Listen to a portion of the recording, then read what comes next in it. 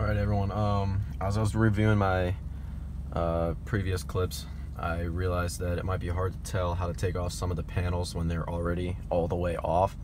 So after my install, as you can see, everything is put back together the way it's supposed to be. And I'm going to try to explain it the way I took it out without taking it out physically.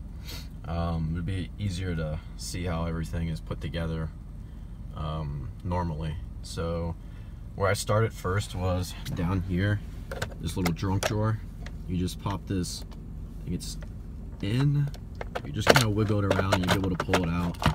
So that's easy, pull that out first. Once that's out, you can actually remove this entire panel down here, including this. So grab right around here and just give it a hard tug down. There will be a clip on this side and a clip over here on this side behind the panel. It just hangs down, sort of like a glove box once it's open, but it'll be hanging down all the way. Um, next panel to take off um, would be the A-pillar. So here's the A-pillar. You're just gonna reach behind right here with your panel, just get your fingers in there and um, pull this way. Because there's a clip right in here and then it just slides up and out um, in between the vent and the tweeter uh, trim piece. So after that is done, I would go ahead and take off the upper dash piece, which connects all the way to the other side. So this piece, I don't know if you can see this seam, but you're gonna take your pry tool and pry it. And there's probably six or seven clips that go around, and you just pop it up, and it should release and um, come free once it's free, there's clips in the back that face like this. And so you're gonna take the panel and pull it towards you and it'll pop it out of the back over there. And the same goes for the other side. Um, there will be clips or um, uh, yeah, just little clips along the seam in here. So get your pry tool underneath this and then it should pop up and then you can pull it out this way. So once that's out, this piece and this piece are actually separate so I don't know if you can see it but right there they seam together and underneath they just kind of clip in place. So you can actually remove the whole right side passenger side dash panel piece um, separately from the driver's side piece. Um, next since the A pillar is out and the dash piece is up and moved out of the way you don't have to pull it out all the way because there are some wires that run through it for that guy up there. Um, so the vent and the tweeter bracket or trim piece is this entire piece right here. It goes all the way around the dash right here, separates right there, and then it goes across here, including the um, seat presets. Um, you have to have this piece, this panel taken off first because on the panel up here, there's a tab that goes behind this panel. And so if you try to take it off, it won't, it'll resist this panel. So pull this down, take off the A-pillar, and then get on the inside of the door over here, when the door is open, and start popping away clips. There will be clips, if I remember correctly, it's, I showed you in the previous videos, but there should be a clip somewhere around here. Uh, there's one, I think, right down here somewhere. And then up here in the back, once this dash piece is up, there will be a bolt. Take out that bolt that is screwed in and you should be able to just pop it up and take out this entire um, trim piece right here. Once those pieces are out, I showed you previously where the instrument cluster is located. It has a bolt in every single corner along the thing you can take that out and it just allows for better access to running wires and such.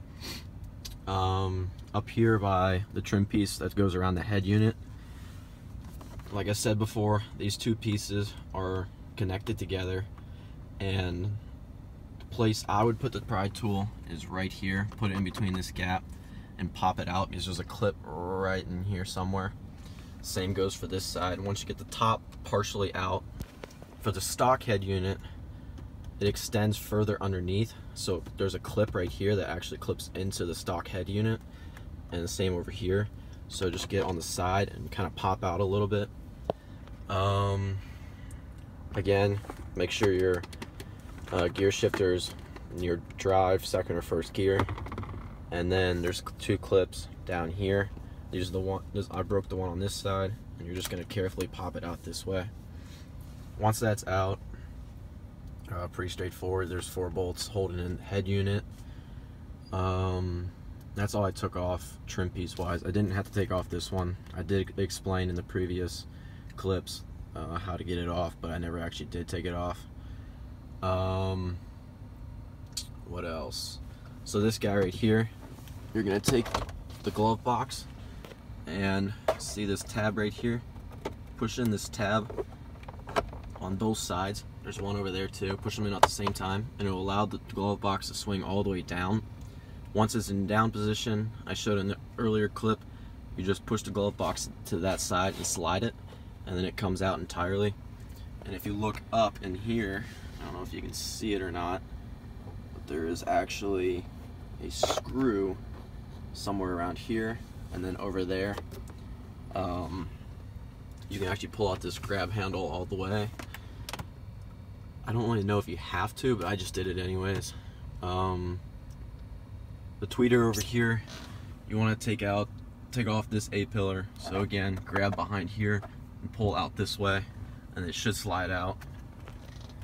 Um, the tweeter and the vents trim piece is also held in in the corner up there by a bolt. So once you have this dash piece off, you can get to that bolt, take it out, and then start prying on the edges or the seams of the vent and pop it out. Don't mess with the airbag.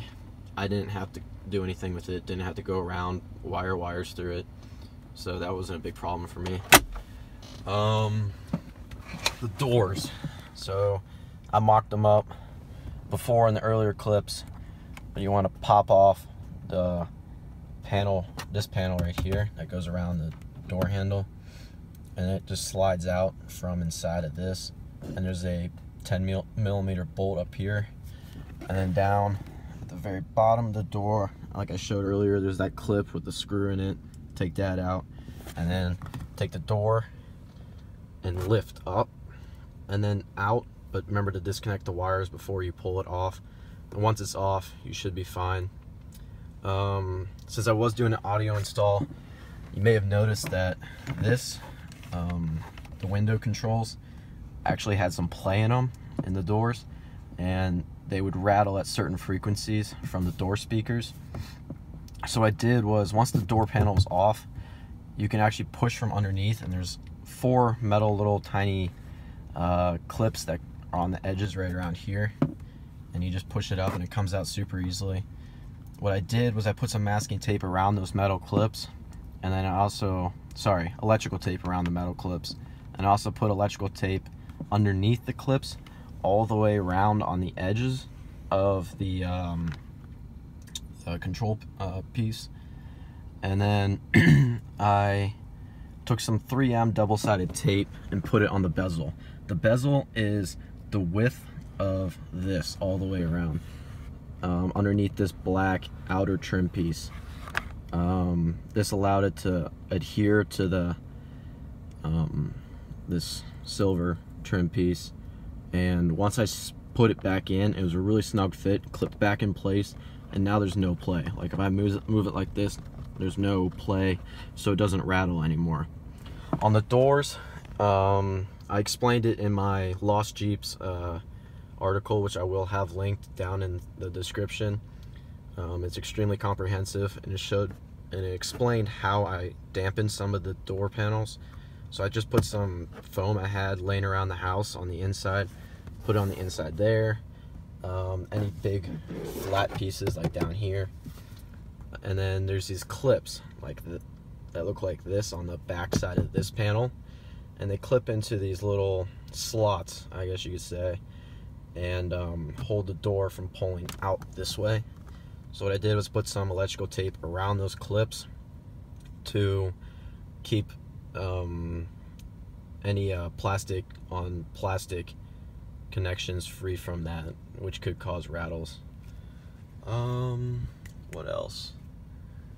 So on these panels, um, you have to take off these this upper panel before you take off the one down there.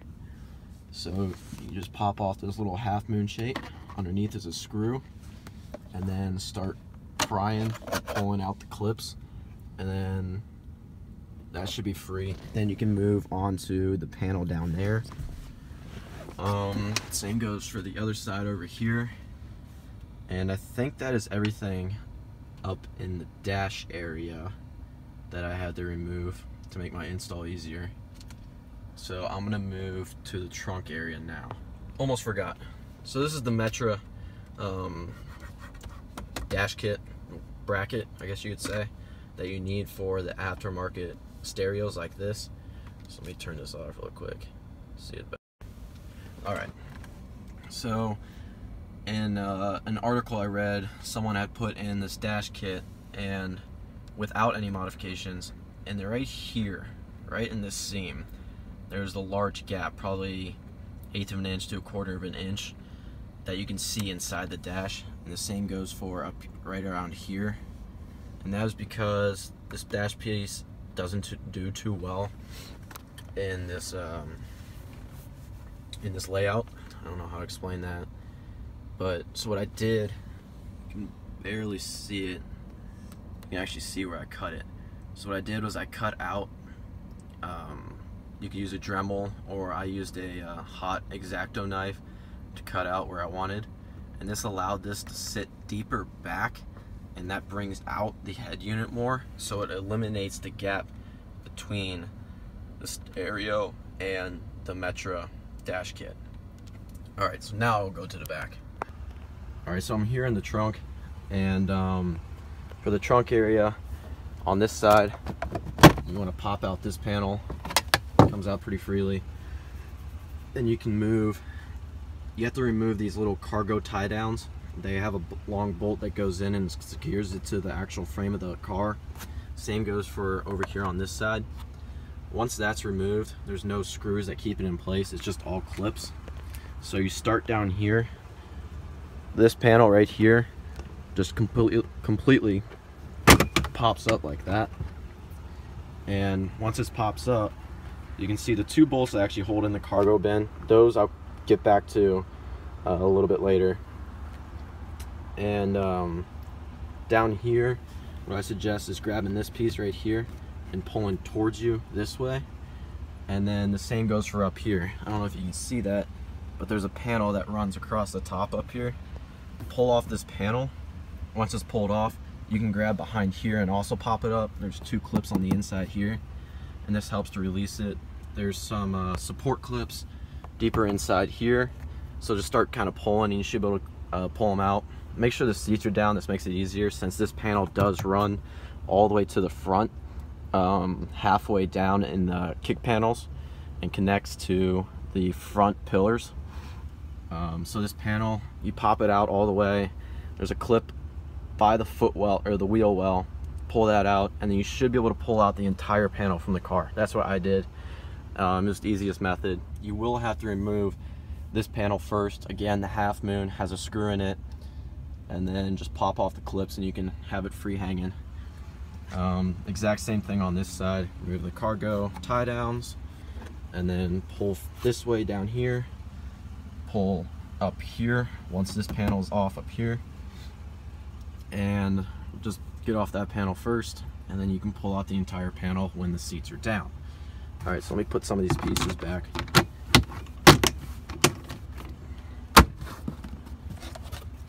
Um, don't be afraid to give some of the panels some force. Just be careful where you apply it because I didn't have any problem breaking anything. All right, so we move to where the amp is. The amp is underneath this cargo bin. So we lift it up here. So this is what it looks like. Um, I made it really clean. We got the two component crossovers for the front right here.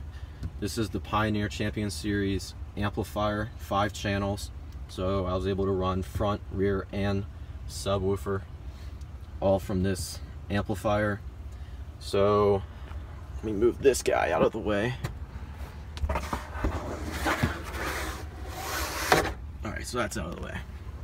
Um, I almost forgot.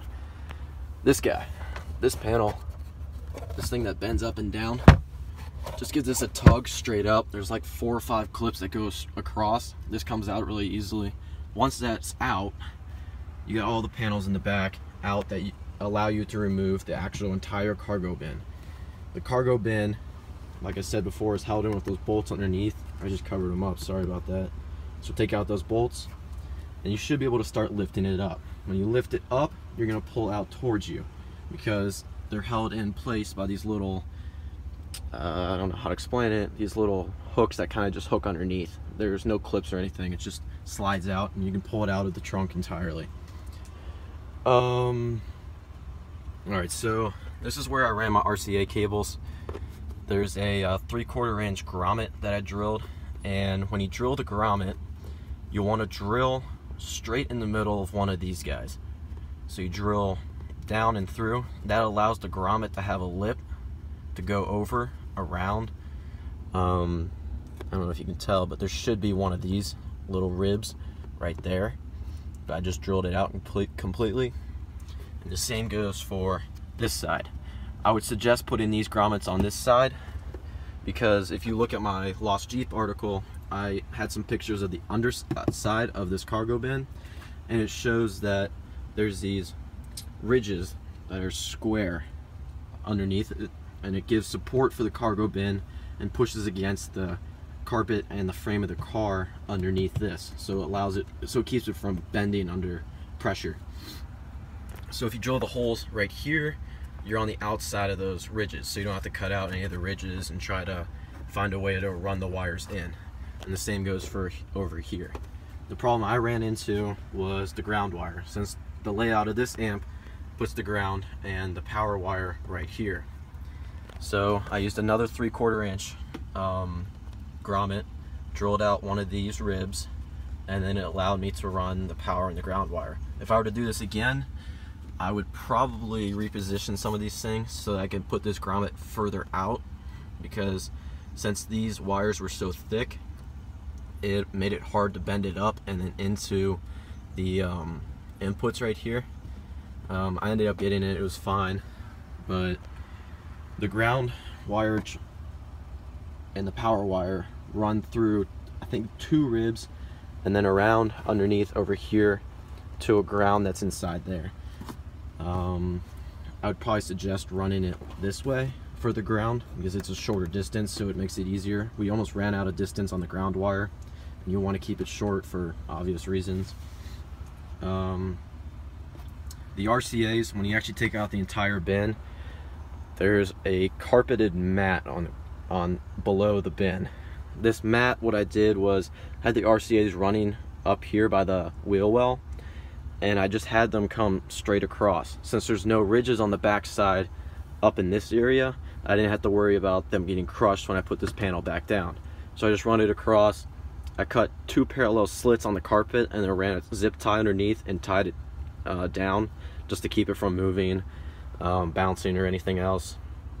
And then I brought it all the way around back here, again on the outside of the ridges, and just brought it up into the amp. Speaker wires, same thing. Had them run back here, uh, zip tied them down around in here on the carpet, and had the sub wire feed into those wires up in the front and they just ran up through this hole into the inputs and the crossover. Um, other than that, oh yeah, so these guys, these little washers, um, I had the problem, these ribs, since it, it keeps the floor from being completely flat, so it's hard to mount some things. I was considering using Velcro or like a 3M double-sided foam tape, but I decided to go on these rubber washers.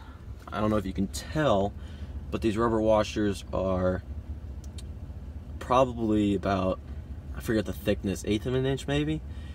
They just lifted up just enough to be flat on these ribs or just slightly above the ribs. And I had to find points where they're in between the ribs so I can mount it flat. So you just kind of have to play with the location of your amp and find where the best spot is. You should be able to find one uh, pretty easily, but it can be kind of hard. and um, these rubber washers are tapered so it allows for a little bit more height and it helps to reduce like vibrations and other things inside the amp um, on the crossovers I did the exact same thing the crossovers has four have four different uh, points where you can mount some bolts so instead of getting the tapered version of this washer I stacked two regular rubber washers underneath the mounting points and this again raised it up above the ribs and that made that pretty clean. Um, the bolts were one inch. You could probably go less than that. Those are a little long to be honest. Um, anything else? Oh yeah, so all my speaker wires were run all the way up through there besides one. I ran the rear left speaker wire through here, underneath, this way, and then up the pillar back here, and then underneath the headliner all the way up to the front pillar, and then down into the door boot. Um, the reason why I ran it up the headliner is so I'm not running it right next to the power wire that also runs down on the ground. And I didn't want to run a wire from back here all the way around the front, across the dash, and then up the pillar, because that's just, I don't know, that's just kind of overkill, too much wire. Um, it just made it easier to go this way. The front left speakers in the car, driver's seat, I did run all the way through around the dash and then into the speakers. So I would suggest getting 100 feet of wire or uh, something similar just so you don't run out and you have to make more trips. Um, other than that, I think we're good. I think I got everything covered. Um, hope this helps. Um, again, go check out my Lost Jeeps article. It's pretty good, really comprehensive, over 5,000 words. I just threw in everything I've learned through this install and uh, shared it with everyone there. So I hope I hope it helps. And uh, good luck if you decide doing the same thing.